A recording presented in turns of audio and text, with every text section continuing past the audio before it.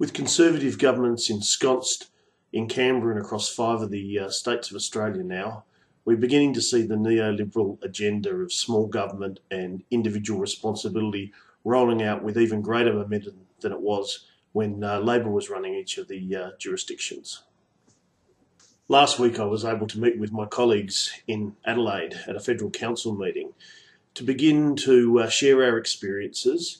and to plan a response to the cuts and the outsourcing we're seeing throughout Australia. There is an alternative to this agenda, and by learning from the failed experiment of the big society that the Cameron government ro rolled out in the uh, UK,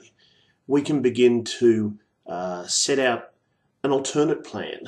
um, and co communicate that plan to all Australians. These are national issues and they require a national response and it takes a national union like the CPSU to respond to the big picture issues and to put in place plans that will be in the interests of our members, uh, the, the people our members serve, and the whole of Australia. I look forward to involving you all in developing that plan, a plan for a fairer Australia over the coming months and years.